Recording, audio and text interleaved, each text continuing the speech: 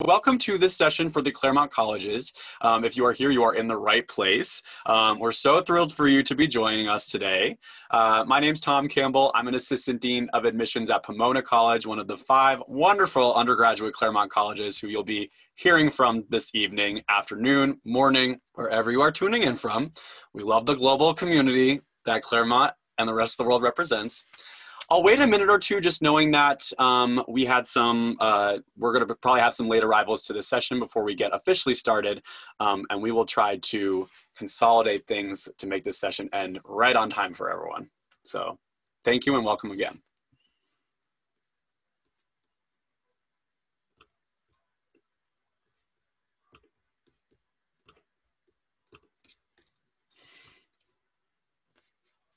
All righty.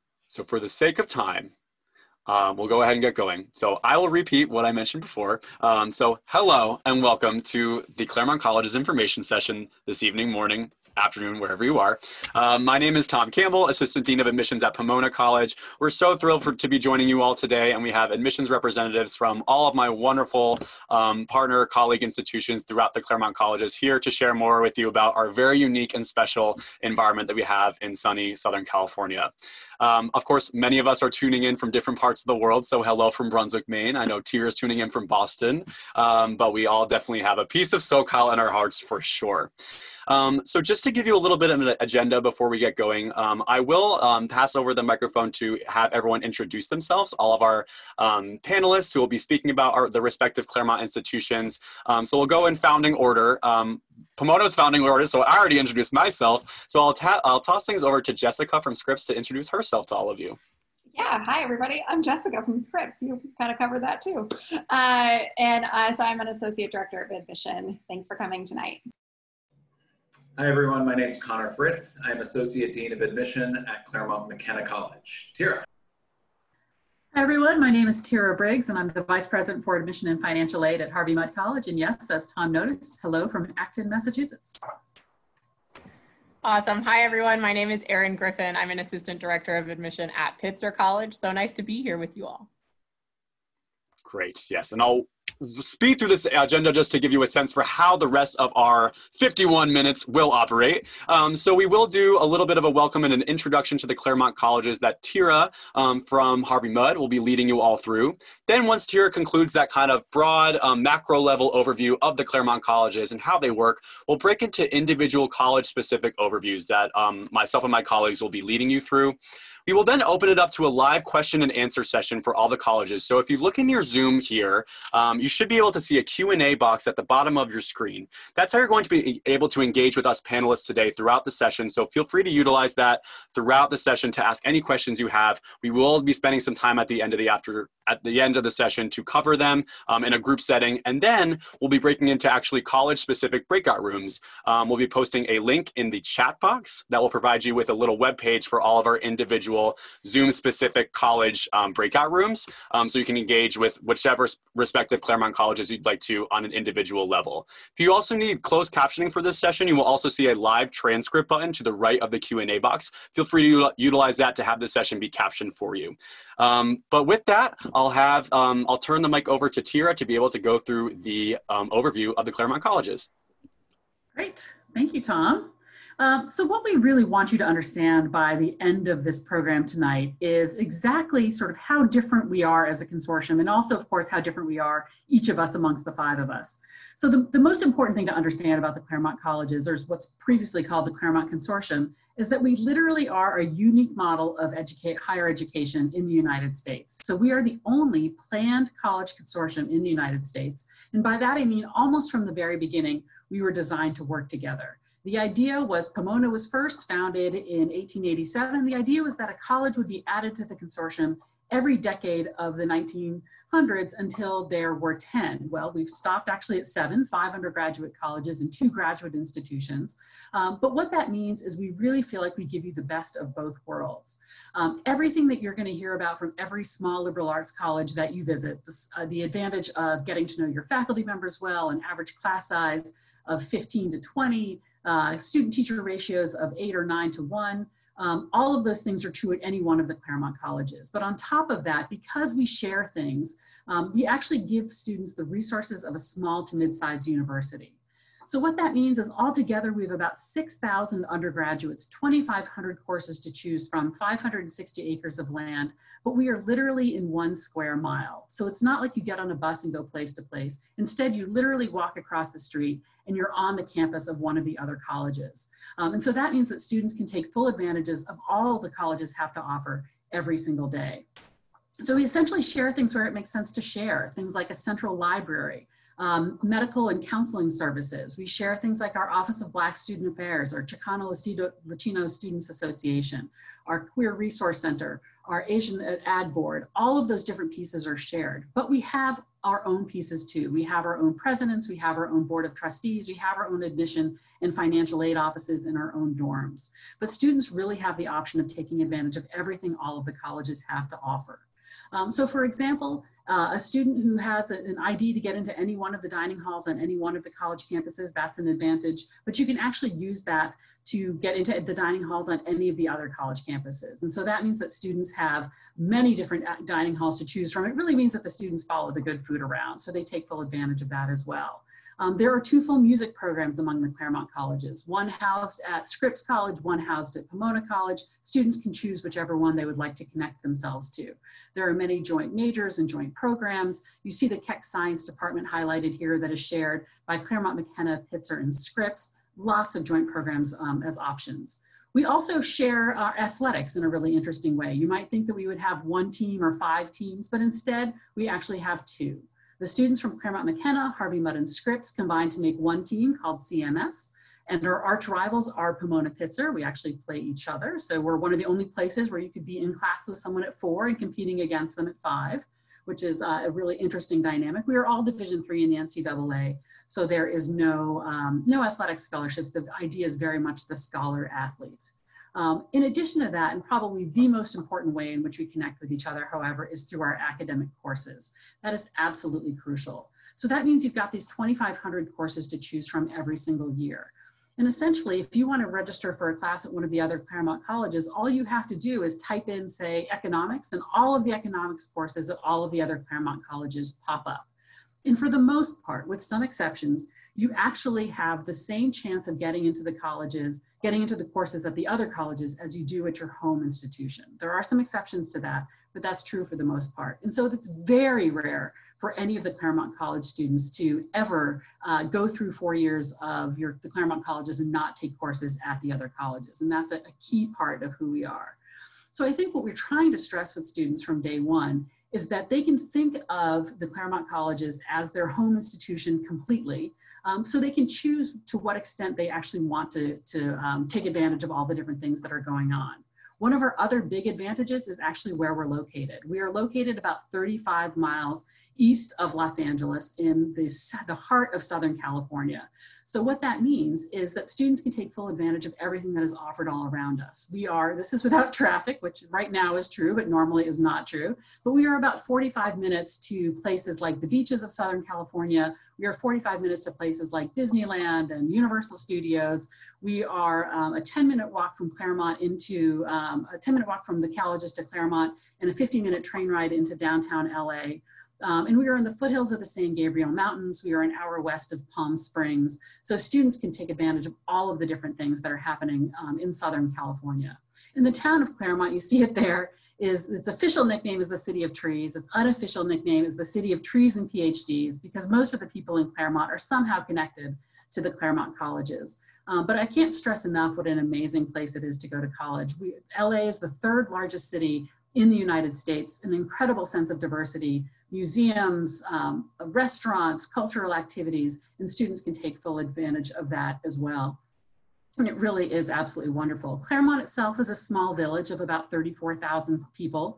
Um, and again, lots of folks connected to the different colleges. But one of the advantages there is it is within walking distance of all of the colleges, lots of small shops, restaurants, the train station, um, and there's something we have called Claremont Cash, which literally is sort of like a, a debit card that is used on the campuses. It's, uh, it can be used also in a lot of the restaurants and shops in downtown Claremont as well. So having the, the advantages of Claremont um, is absolutely amazing. And again, in the foothills of the San Gabriel Mountains, this means that it may be 75 degrees and sunny in Claremont, but the mountains will be snow covered. So if students are interested in doing things like hiking, mountain biking, rock climbing, but even skiing and snowboarding, that will be an option as well. And students will take full advantage of all of those things. Um, so it's an absolutely wonderful uh, environment in which to go to college. Um, so I'm trying to think, have I left anything out to my fellow Claremont folks? I'm getting a thumbs up from various people. So yeah, I think that is, that is the heart of who we are. But again, best of both worlds, advantages of a small college, resources of a small to mid-sized university, and five absolutely remarkable colleges all within one place um, with students taking full advantage of all the different things that are there. So I will turn it back to Tom because once, once again, we're going to go in, uh, in founding order. All right. Thanks so much, Thyra. That was a great overview and great segue into this the individual college presentations. Um, so, as you can see here from the slide, um, Pomona, located at the foothills of San Gabriel's, as are all the other Claremont colleges. Um, I want to spend a little time talking about kind of Pomona's role in the consortium and kind of what our thing is. We get that question a lot, especially in comparison to the other Claremont colleges that have a more distinct identity based on their history and their founding um, and the intent behind the populations they were meant to serve. Pomona is meant to be a college of the New England type in Southern California. So bridging together the tradition of a liberal arts college model, which emphasizes small classes, a residential community, interdisciplinary learning, learning across a broad range of topics and disciplines, um, while diving deep into your interests at a certain point. Um, so Pomona has always kind of, you know, held on to the traditions of that educational model, but also really prides itself on bringing into the fold the spirit of California, right? The spirit of Eureka, I found it. Um, having your Eureka moment, your sense of discovery, um, and the innovation, the forward thinking values, the boundary pushing environment that Southern California really brings into the fold. Um, another great way to kind of think about Pomona, especially in, in, in terms of our values and our philosophies, um, we do tend to kind of look most like a New England uh, based liberal arts college, um, having the broadest range of majors and academic programs, um, and just kind of really retaining that individual identity um, based on that historical context. But um, I, I know that's not a very like satisfying answer to be like we're just like a lot of the New England schools, but with palm trees, right? Because we are a different a different place than that. Um, and the three adjectives I like to describe that kind of are a distinctive part of Pomona's mission and values are eager, thoughtful, and reverent. Those are two adjectives that are inscribed in our college gates that all of our first year students run through together on their very first day on campus. Um, today or this year virtually, I'm not sure how they were able to accomplish that, but the values of being eager, thoughtful, and reverent transcend a physical um, ushering into our campus and are something that our students adhere to no matter where they're tuning in from and logging in from in the different corners of the world that they represent. Um, so students at Pomona, they're eager. They're eager to get involved with a residential community. The first students that they usually meet on the, our campus is their sponsor group, which is a group of 15 students that are led by two sophomore mentors who have specifically chosen to sacrifice their sophomore year and living with their peers to be that resource for first year students, right? So um, that kind of culture of mentorship and of paying it forward and having other people be in your corner and be a resource to you and help you navigate your four years at Pomona or help you pick out your study abroad destination or help you find your research or internship opportunity. Having those sophomore mentors in that residential environment in that hallway is a really special way to kind of transition from high school to college. Um, the second is that Pomona students are thoughtful. They are thoughtful with how they want to engage with the curriculum that they have at Pomona with our 48 majors. They're pretty equally spread at Pomona between the arts and arts and humanities, the natural sciences, the social sciences, and interdisciplinary fields. Popular majors in, in some more recent years have included economics, mathematics, computer science, public policy, politics, people going on after they graduate into education and consulting and finance um, and the health professions. We actually just found out today um, that one of our um, famous alums, Jennifer Doudna, class of 1985, um, is actually uh, just won the Nobel Prize in Chemistry. So that's a super exciting testament to the strength of a Pomona education and the fact that our thoughtful students are going out and making positive changes, including revolutionary gene editing tools such as CRISPR that are saving lives, that are introducing medicines to our world that can help make this place a more equitable place and just place. Um, the last adjective that, that I like to describe is reverence. So what that means is that Pomona students have a deep respect and admiration for others. Um, Pomona students really do encompass, as you can see on this slide very briefly, so many different countries, so many different states. 20% um, are first generation to college. They're coming from rural farm towns in Nebraska and big cities such as Chicago and Miami. But something that they really do all really adhere to is respecting the differences that people bring to the table. And I'm not saying that at Pomona it's always sunshine and rainbows and everyone's just getting along and it's some completely harmonious because that's not college. That, that that's not the reality at any of our institutions. But what they do adhere to is being respectful in terms of listening to difference and knowing that I don't have all the answers. And by being at a community that embraces the different things that people have to contribute and the voices that they bring to the table is something that Pomona does really, really adhere to and does really, really celebrate in terms of our values, our culture. Um, and I do hope that um, wherever you land in college, you end up being eager um, to engage, being thoughtful with how you utilize your gifts and talents for a larger social purpose, um, and reverent and respectful to all those that you encounter, whether that's on Pomona's campus or another institution. Um, I do want to turn things over now to Jessica at Scripps to give you a little window into their distinctive culture and how they fit into the Claremont colleges.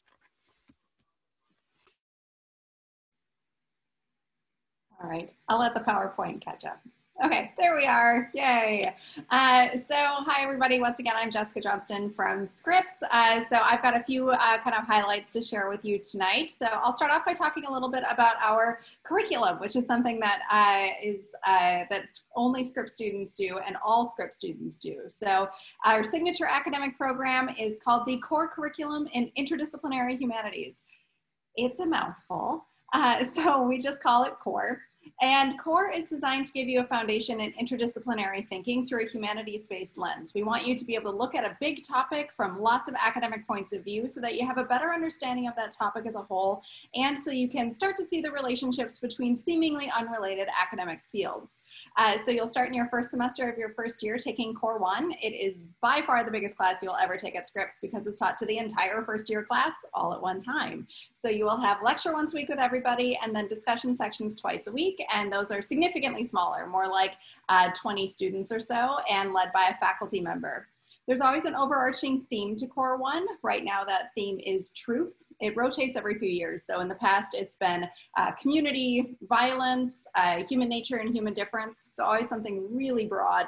And then each week, the lecture will be given by a different professor from a different department. So that's where you're looking at one idea from lots of academic points of view. So you wouldn't necessarily think that somebody from the English department and the psych department and the art department and the math department would be able to find common ground, but they can. It's just that some of them have to be a little more creative than others. Next, you'll move on to core two. So the structure is very different. You'll have a variety of different topics to choose from. And uh, the courses will be significantly smaller, again, around 20 students or so. The one thing that's similar though is that all these classes will somehow be interdisciplinary in nature. So for example, many of them are team taught by two professors from different departments. And then finally, you'll wrap up with core three. So this is uh, the uh, first semester of your sophomore year, if you're keeping track. Uh, and uh, this is similar in structure to core two. You'll have a variety of topics to choose from, but the, um, the class itself is generally project-based. You'll work on some thing, like some kind of independent long-term project. Uh, and that's meant to be sort of like practice for your senior thesis. All students will do the core program. All students will do some kind of a senior thesis depending on your major. Uh, and those are meant to be the bookends of your experience at Scripps. And uh, so while we have this humanities-based core curriculum, uh, we our most popular majors are kind of all over the place. You can see on the slide there, uh, biology is always one of our most popular majors. So if you're the kind of student who uh, kind of likes all of your classes. And if you, when somebody says, what's your favorite class? You're like, ooh, um, can I major in everything, please? Uh, you would definitely find your community at Scripps.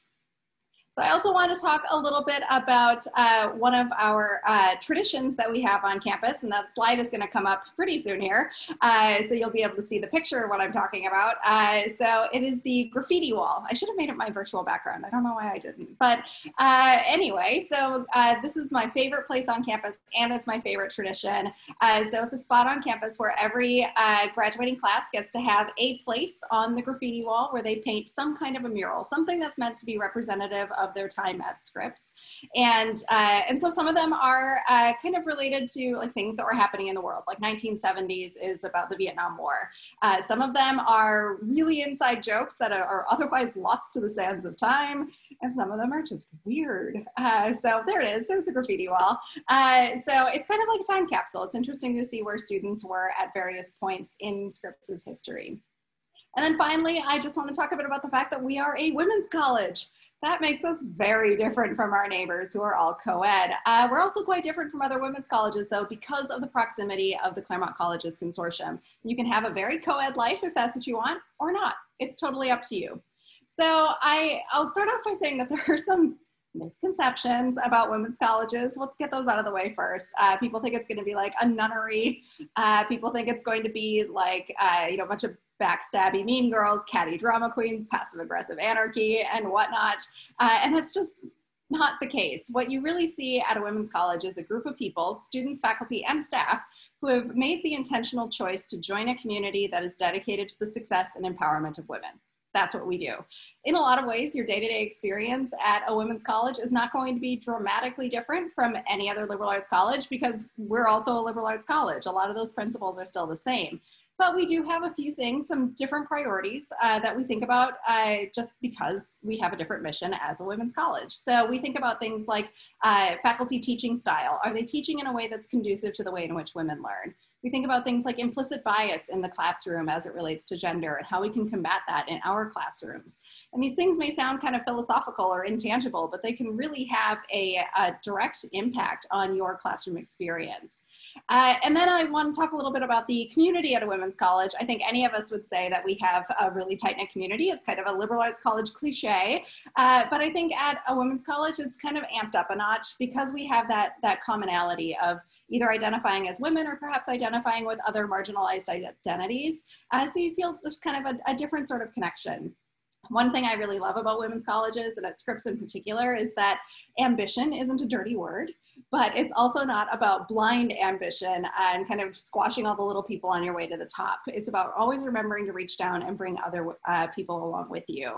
Uh, and um, I, well, honestly, I could talk about the women's college piece like for hours, and I probably have. Uh, so um, I just want to kind of wrap up by saying, as a graduate of not Scripps, but another women's college, one of the best things about the experience is not just the four years on campus, but that you get to be a graduate of a women's college for the rest of your life. It really is just the beginning. Uh, and the alum networks that are out there are very powerful in every sense of the word. Uh, so with that, I'll talk. To, I'll send it over to a school that knows something about networking uh, with Claremont McKenna. Great, thank you so much, Jessica. So again, my name is Connor Fritz. I'm Associate Dean of Admission at Claremont McKenna College. Uh, Claremont McKenna College was founded in 1946. Uh, we were founded right after, of course, the end of World War II. Um, and in, in United States, that was very different from when they entered, entered World War II a United States that had hundreds of thousands of men returning from war, a United States that had companies becoming multinational corporations, and a United States that was playing a much greater role in world affairs. And so Claremont McKenna College was created at that time really to speak to the needs at that time, to take, at that time, the men that were coming back from war, to educate them for lives of responsible leadership in business, government, and the professions. And we really do carry on that today, on that mission and that tradition today of preparing our students for what is next in their life, for what world they're going to be graduating into, what economic atmosphere, what political atmosphere, um, and what jobs that are going to be out there as well. And so that is really the focus of CMC, giving our students this very broad, very deep, uh, traditional liberal arts education, but balancing it with this very practical and pragmatic approach at the same time. What we call at CMC, learning for the sake of doing. So that starts in the classroom. It starts with our small classes, our eight to one student to faculty ratio. It starts with the way that we really deal um, with learning inside of the classroom. Debate, discussion becomes a very big part. Bringing in outside resources, looking at the world, looking at how what you're learning inside of that classroom applies in the outside world. Using case studies, bringing in faculty that have knowledge of that outside world as well. And now at CMC, we have 31 different majors but of course our students can major on the other campuses as well.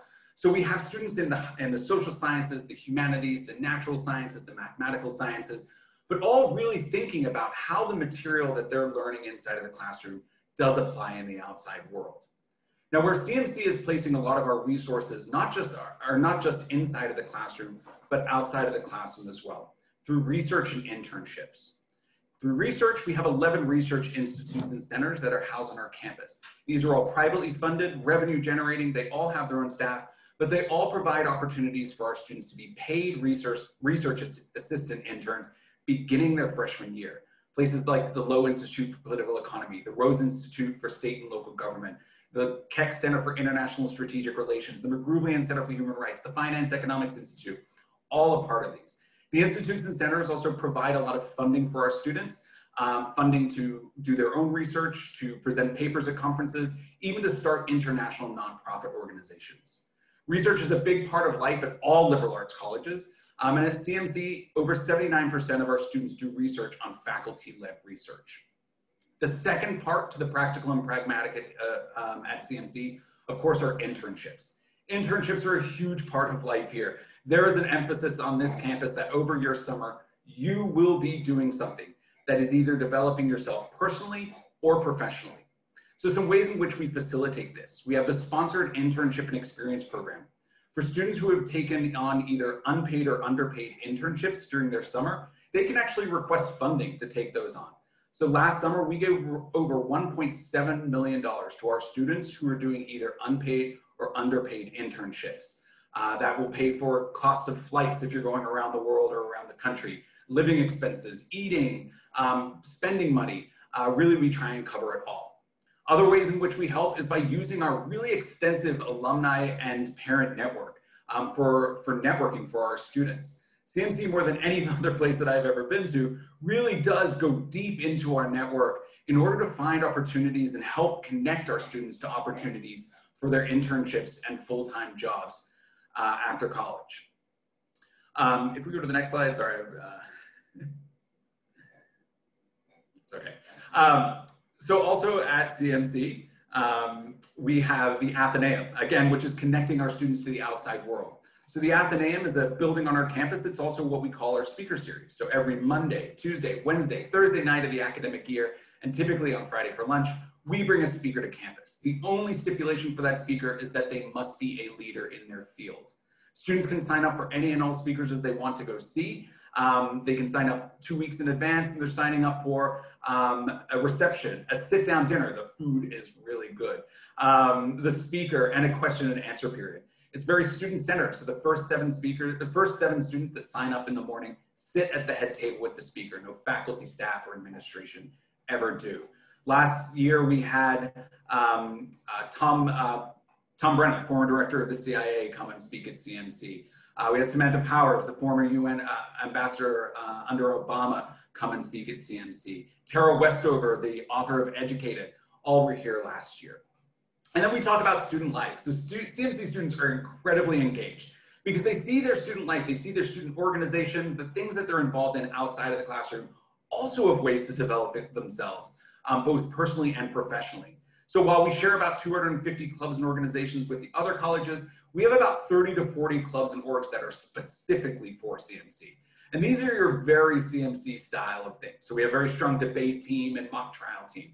Our Model United Nations organization last year um, was the only liberal arts college ranked in the top 25. Uh, in fact, they were ranked number four. Three out of the last four years, they've been world champions at the Harvard World MUN Conference. Uh, we have the Student Investment Club, which invests about two and a half million dollars of our endowment. Uh, and then we also have an uh, organization called Source, which is a student-run, student-led consulting company um, that students get paid and they go out and they consult with local and international nonprofit organizations on their business practices. So that's what I'm going to say a little bit about CMC. Uh, and now I'm going to pass it over to back to Thyra. Thank you, Connor. Um, so hopefully by now what you're figured out is that as each of us was added to the Claremont colleges, there was a reason and a need for each. And the reason and the need for Harvey Mudd was for a high level math, science, engineering education. We were founded in 1955, two years before the launch of Sputnik, and the idea was that there was a strong demand for this kind of high level math, science, and engineering, but in the context of a liberal arts education. And so that really is the heart of who we are. We're known as the Liberal Arts College of Math, Science, and Engineering. Everything that matters to us you can be, can be found in our mission statement. And the mission statement of Harvey Mudd says that we seek to educate mathematicians, scientists, and engineers well versed in those areas who are also well versed in the humanities, social sciences, and the arts, who are prepared to assume leadership roles in their fields, and who recognize the, uh, the impact of their work on society. So everything you need to know about Harvey Mudd is in that sentence. The corollary to that, which I'll be honest, I actually prefer, is technology divorced from humanity is worse than no technology at all. So it is all about those two pieces. Um, and as you see here, we are the smallest of the Claremont colleges. We're actually now about 900 undergraduate students. Um, and we have a curriculum that has three different parts. The first part is a core curriculum. The second is the humanities, social sciences, and the arts. And the third is your major. Um, and the core is a key part of who we are. Students study in every single department we offer before they declare their major at the end of their sophomore year. So unlike many other technical institutions, you don't have to know what you want to study coming in. You just have to be pretty sure that it's something in the STEM fields. Um, but humanities, social sciences, and arts is a crucial part, and that's actually who we are looking for in our admission process. Students who are as excited about their work in, the, in what we call HSA, Humanities, Social Sciences, and Arts, as they are uh, their work in the STEM fields. Um, and so as you see here, about 30% will be in the in HSA. And essentially what that means is every single student will declare a concentration, something just short of a minor in HSA. The most popular one tends to be economics, our students like numbers, but you could do history, dance, theater, language, whatever you want. And on average, half those courses will be in uh, at Harvey Mudd, the other half will be at some combination of the other Claremont colleges. Um, we only offer 10 majors at Harvey Mudd, and they are all in math, science, and engineering. And that makes us very different from just about every other liberal arts college in the country. Um, one major I want to call out is engineering, just because it is done very differently at Harvey Mudd. You don't major in uh, civil engineering or mechanical engineering, you major in engineering. And we do that very specifically because that way when students graduate from Harvey Mudd, they're not pigeonholed into only one specific area, but they can use their electives to focus in on something very specific within the field. Um, research, as you see here, is key. This is where it matters that we are entirely undergraduate. You're never taught by a graduate student. Um, we don't have them. But in addition to that, every single student will have huge research opportunities. And I know often there's a skepticism about how can a small liberal arts college offer the same kind of research opportunities you might find at a larger research university. But all of our faculty are still doing research in their fields. And if they were at a larger institution, they would be turning to their graduate students to support them. Instead, at Harvey Mudd, they turn to their undergrads. So students will be doing research as part of their courses. We have 200 students on campus every summer doing fully funded research working with faculty members. And then every single student will take part uh, in a capstone project in their senior year. Students majoring in biology, chemistry, pure math, pure physics will be doing a senior thesis. Students in the more applied fields of computer science and engineering will take part in something we have called the clinic program. And that's where companies like Google, Microsoft, Disney, SpaceX, Livermore National Lab, City of Hope Hospital, they pay Harvey Mudd each year to have our students in groups of four or five take on real life research problems for them.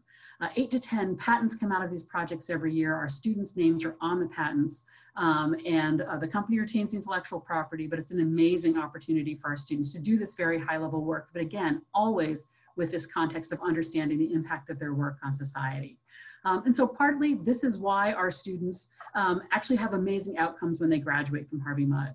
Um, Harvey Mudd students are typically have among the highest average mid-career salaries of graduates of any college or university in the country. Our alums also, um, we have typically among the highest percentage of students from liberal arts colleges going on to get their PhDs. Uh, we typically show up at the top or near the top of the uh, return on investment. Um, and part of the reason we think our students do so well in all of this is certainly because they're graduating in math, science, and engineering. Let's be honest, that's not surprising. Um, you also see a, a pretty astonishing average starting salary for our students there. Part of the reason, yes, they are graduating in math, science, and engineering. That is a key part. But the other reason we believe our students do so well after they leave Harvey Mudd is that they graduate with a set of skills that even distinguish them from other high-level math, science, engineering students.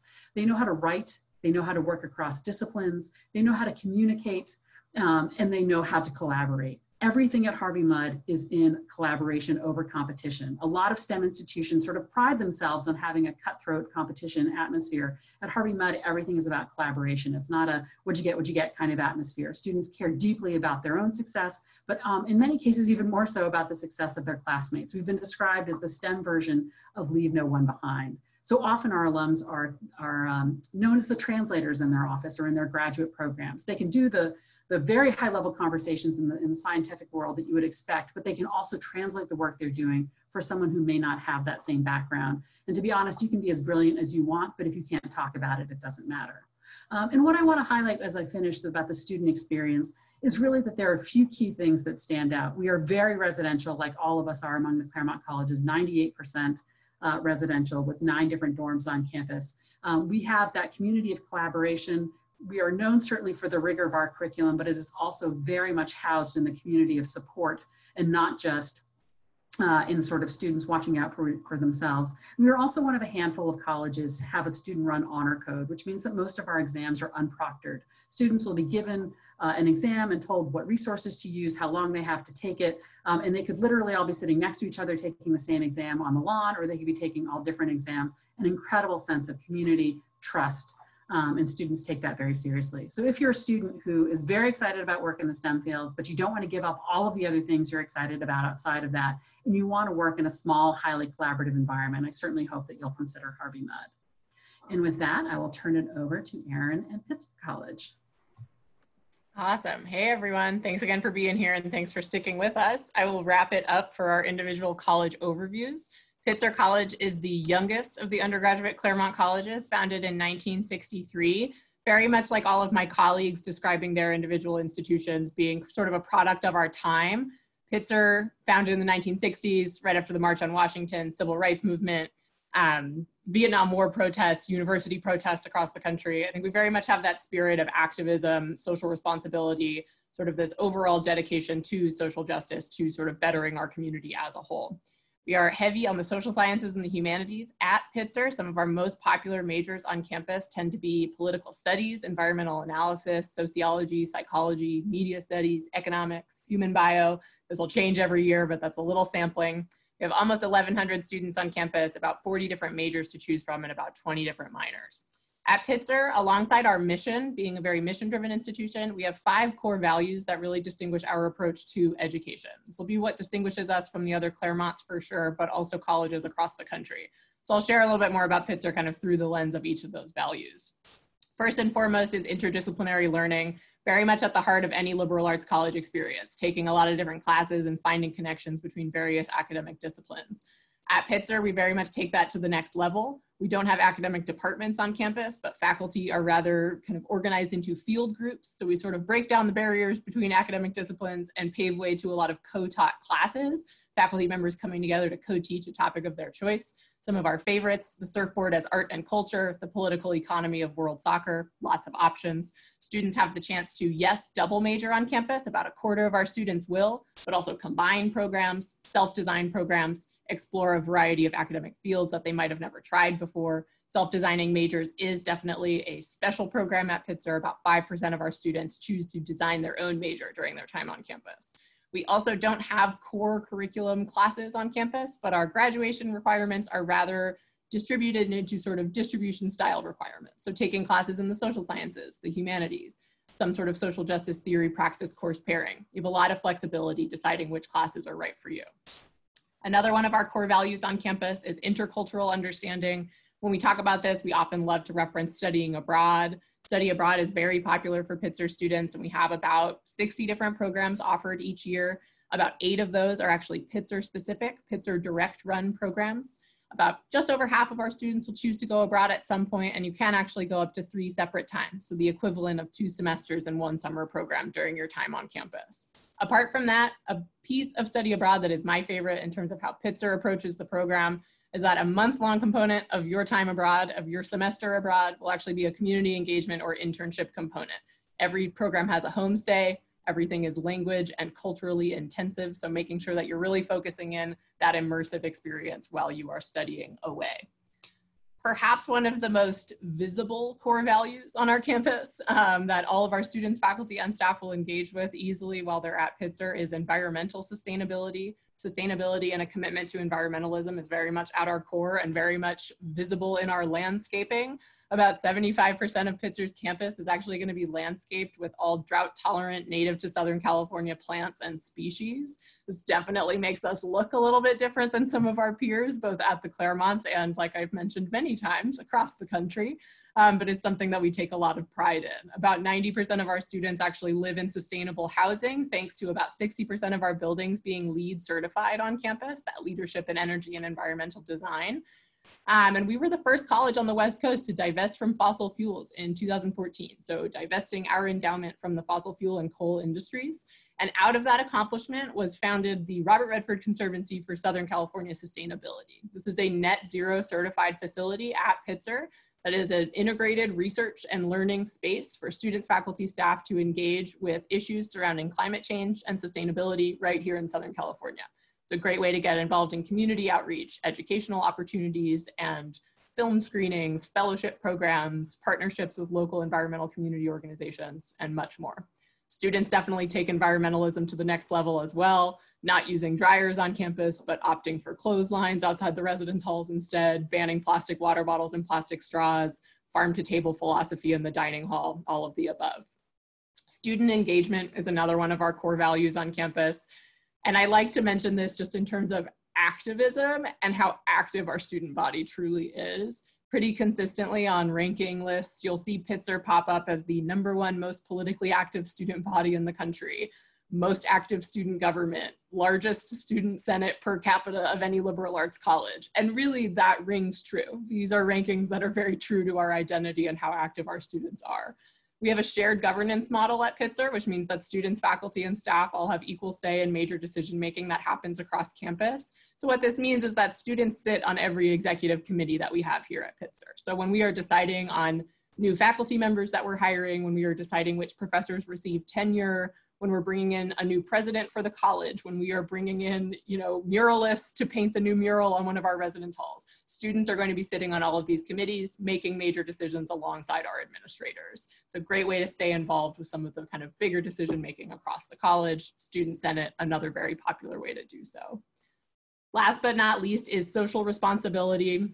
So our fifth core value on campus, I like to say that social justice and really a commitment to social responsibility, awareness, social justice as a whole is kind of the common thread that will tie together all of Pitzer's programs and really sort of identifies our ethos as a community. As an entire community of students, faculty, and staff, we donate over 100,000 service hours every year. Most of that is thanks to community partnerships that are actually housed through the Community Engagement Center or the CEC on campus. And students actually recently petitioned to change our service requirement from 45 service hours over the course of a semester to a social justice theory and social responsibility praxis course pairing. So now to graduate from Pitzer, you will take a class you likely will take more than one, but you are required to take at least one that takes an issue of social justice, agricultural economics, Latinx community health, whatever it may be that you choose to study, looking at that in the classroom, discussing the social justice issues and theory behind it, and then going out to partner with a community organization to actually do that work. A really popular option for this in recent years has been to take an inside out class. This is part of our justice education initiative across the Claremont colleges. So we have classes that are about half Pitzer and Claremont College students, half inmates that are taught inside local prisons. I like to end with this for a couple reasons. I think Pitzer is always innovating, always sort of changing the way that we approach education, social justice, making sure that our conversations are not just happening sort of on our campus, in our bubble at Pitzer, but happening in the community alongside grassroots activism and advocacy projects. Our Inside Out classes are a great way to sort of spin our thoughts about education a little bit, dive into mass incarceration, learning a bit more about the school to prison pipeline and how our faculty members are working to reverse that. Um, and also, all of these classes are happening virtually this fall, able to get that partnership going for our classes and our inside students in the prisons, something that has been very heartening and fun to see. I'm going to leave it there. So I will pass it off to Tom to go over a couple more details just about shared admission policies, and then we will do a little Q&A. All righty. thanks, Erin. And for the sake of time, I'm, I'm going to be really brief with this slide. So essentially, hopefully the core of what you learned from this session today is that we are more alike than we are different and we have lots of shared appreciation for liberal arts curriculums learning across difference being collaborative, right? That is the core of what the Claremont Colleges is all about. However, we are all distinctive colleges at the end of the day. And a lot of where you see that coming uh, most explicitly is through our different admissions and financial aid policies and processes.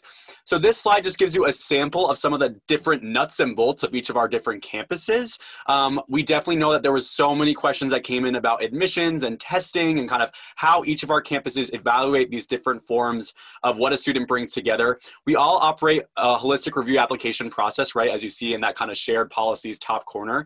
But it's best, especially during these individual breakout sessions that we will be um, heading into shortly, to ask the specific Claremont colleges that you're interested some of the more of these specific questions about admissions, because again, each of us are going to have nuanced different answers about how those logistics and pragmatics go when it comes to our admissions processes. And it's best not to just assume that we all have the same policies or blanket ways of approaching certain pieces of information or what have you, when the reality is that we are crafting different communities that have lots of similarities, but at the end of the day, we all are individual institutions that have um, these separate and unique processes. Um, so with that, um, I do want to maybe just pose one question to the group before um, I believe Aaron or Natalia were, were, planning on dropping the web link to the breakout room little sheet um, that students can break into. Um, but the one question that I kind of wanted to pose to folks is we got a lot of questions actually about study abroad. Um, so if maybe someone could briefly talk about um, and kind of uh, clarify that each of our campuses have programs that are available to students. If anyone is able to snag that question and speak to it for a second, I think that would be a great way to close things off based on the interest. So we all run pretty much like you're going to find most other campuses run. Right? We partner with institutions and programs abroad um, across the world, and we have so we have to uh, evaluate those institutions and programs and make sure that their academics are at our standard. I think Pitzer is the only one here that has their own um, study abroad programs. So, Aaron, do you want to quickly touch on that? Absolutely. So we do partner with a lot of other universities. I know I saw a question about like, can you do programs at the other colleges? And the short answer is yes. Like sometimes they'll be restricted to each campus, but Pitzer, we have eight direct run programs that are for Pitzer students, but CMC students, Scripps students, Swarthmore students, Sarah Lawrence students have come on those programs. So keeping that in mind that it is very broad, um, just like we would partner with a program that's run through Bard or you know another college in the states. A lot of this is collaborative. Our direct run programs really just mean like Pitzer specific faculty, staff, research facilities in these other countries hosting these programs. Awesome opportunities for sure, but there's so many different opportunities out there. So yes, like Connor said, every college will have some sort of study abroad. We all have kind of different focuses, different specialties and programs, but there's many, many opportunities, which is another one of those great benefits of the consortium. I think just probably one brief last question, um, more of like a, I believe I'm on the same page with everyone. Um, there were a couple questions about testing and how with the COVID-19 pandemic, whether or not our campuses are requiring testing this year. I know Pitzer has been test, test optional for a very long time, so kudos to them for having that. Um, but maybe just a nod from all of my panelists that I see on the screen that all of our campuses are test optional for all first year applicants this year, or anyone who's applying for the fall of 2021 entry term. Yes. So transfer students as well as first year students, um, that policy does apply to all of you this year. Um, so do know that, you know, our colleges are mindful of the curveballs that have thrown all of your way and the unique experiences that you've had to navigate because of this public health crisis. And we're not expecting flawless, seamless, you know, uh, seamless transcript, or you know, you had to have found a way to keep your dance recital going, even though it was canceled. Like, find some woodland creatures to do it right. Like, we're not expecting you to kind of come up with this, you know, warped review of reality, and we know that kind of like what your life has has really had to pivot to is something that we're human in admissions you know we we make tech mistakes like we don't have, we have powerpoints that don't move from slide to slide when we want them to right? Um, and we don't expect that sense of perfection for anyone who's coming to the claremont colleges at all. We're all human at the end of the day and um, again we're more like than we are different which is something that colleges really celebrate but we also really value the difference that you bring to the spaces that you are going to um, be sent off to and um, find your communities in so with that, I do want to pay um, uh, heed to the uh, uh, link, which will be shared in the chat very shortly. Um, and Aaron, if you want to turn it to our final slide with our instructions. Um, so as you can see from Yaneli, um, thank you Yaneli for sending this along, you should be able to see a Pitzer-based web link. If you click on that link on your browser, there should be different Zoom links to all of our respective individual college breakout rooms. You're welcome to bounce between rooms and ask specific questions of our admissions officers, um, particularly those ones where if you're wondering like, how's psychology at Scripps, right? Like you can ask Jessica, right? Um, and if you want to go ask any of the rest of us what that's like, um, you have the opportunity to do so from about now, once when we log out of this main Zoom into our respective individual rooms. So we do hope that this provided you with a great comprehensive overview of the Claremont colleges. Again, we all have great virtual visit opportunities on our respective websites. We encourage you to check those out if you would like to explore any of our, our colleges more deeply. Um, but definitely utilize this breakout session now to ask those specific questions. Um, and we are so, so glad that you were able to um, tune into this session today evening, wherever again, as you may be coming from, um, and wish you the best of luck with your college search process. Thank you so much for your time.